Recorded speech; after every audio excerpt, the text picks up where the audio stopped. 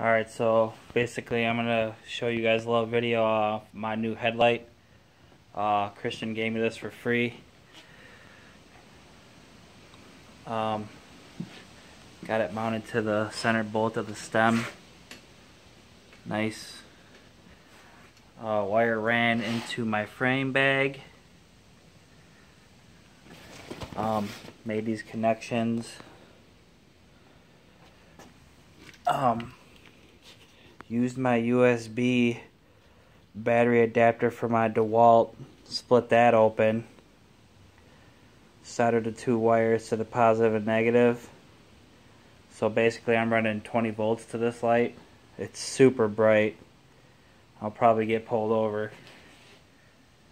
So yeah, which is nice about this also is I can uh, charge my phone or whatever at the same time if I wanted to. And this is uh, this is a shitty battery. I have 5 amp hour batteries.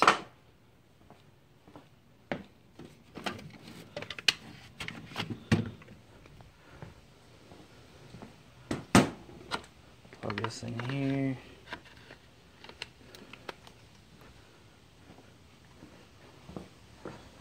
So basically, it's hard for me to hold the phone plug these connectors in.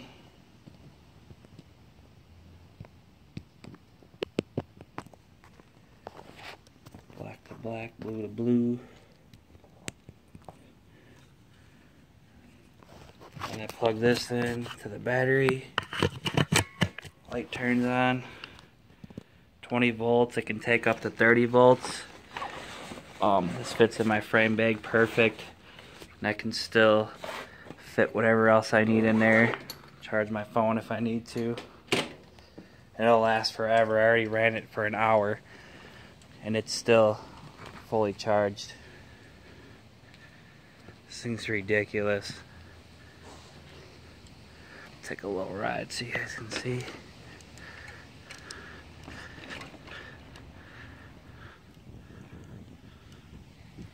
Jeep gang, what you know about that? But yeah.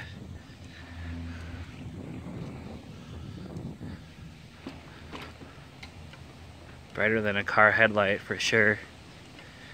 What's also nice is, I don't know if you guys can see it, but I'll be able to see my tach and my speedometer.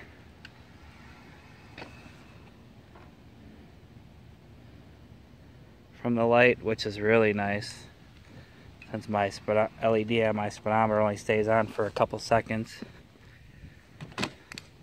Show you guys how bright the light is. It's just ridiculous. On a 20 volt DeWalt battery.